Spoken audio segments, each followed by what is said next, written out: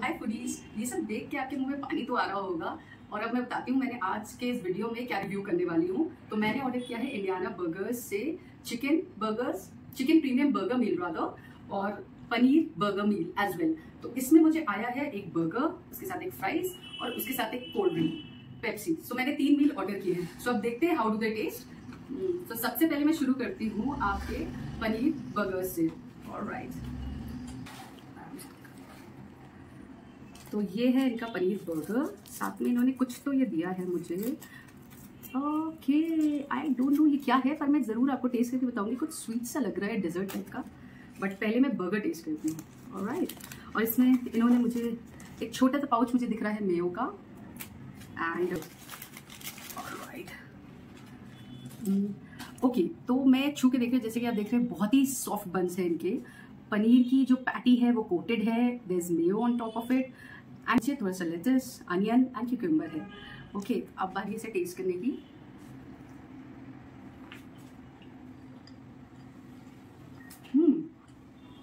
Okay definitely इनकी patty crispy है। Spices medium level के हैं, ना ज़्यादा, ना कम। लाइक यू विल फील थोड़ा सॉल्ट है, थोड़ी सी मिर्ची है। तो मैं ओवरऑल कह सकती हूँ कि अच्छा बर्गर है ये। तो नेक्स्ट बर्गर मैं ट्राई करने वाली हूँ चिकन प्रीमियम तो देखते हैं। सो so, इसमें चिपोटली है आई गेस ये। ये भी कुछ डेजर्ट आइटम आया तो है। ओके okay, ये भी सेम चीज़ है। So I am keeping this side मैं इसे भी रिव्यू करूँगी।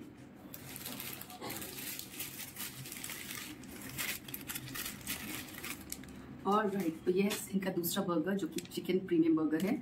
इसमें आप देख सकते हैं इन्होंने चिपोटले का यूज़ किया है। थोड़े से टमेटोज है lettuce onion and cucumber patty इनकी वही क्रिस्पी है।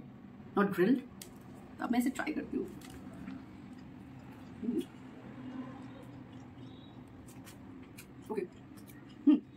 चिकन की पैटी काफ़ी अच्छी है। आई I मीन mean, इसमें आपको थोड़ा सा तंदूरी वाला टेस्ट आएगा जैसे अपना इंडियन स्पाइसी बढ़िया होता है। बढ़िया स्पाइसेस भी हैं ना ज़्यादा ना कम टू वेरी गुड लेवल ये मस्ट ट्राई है। फ्राइज जैसे कि आप देख सकते हैं फ्राइज इनके पतले हैं ना मोटे। हम्म फ्राइज है सॉल्टेड बढ़िया क्रिस्प है। जितना आपको पसंद आएगा। आप क्या चाहते हो ओवरऑल आप खा सकते हो, अच्छे लगेंगे आपको, इस पूरे मील के साथ। हम्म। एक आइटम रहता है जैसे ये क्या था देखते हैं। I think it is some stuff chocolate और something like this I actually don't know क्या है।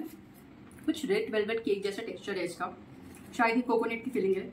And just coated with white chocolate so it is a dessert item अच्छा है क्योंकि मेरे में भी आया अनएक्सपेक्टेड अगर आपको ये टेम्पिंग लगा हो तो आप इंडियाना बर्गर से ऑर्डर कर सकते हैं और इन्जॉय कर सकते हैं.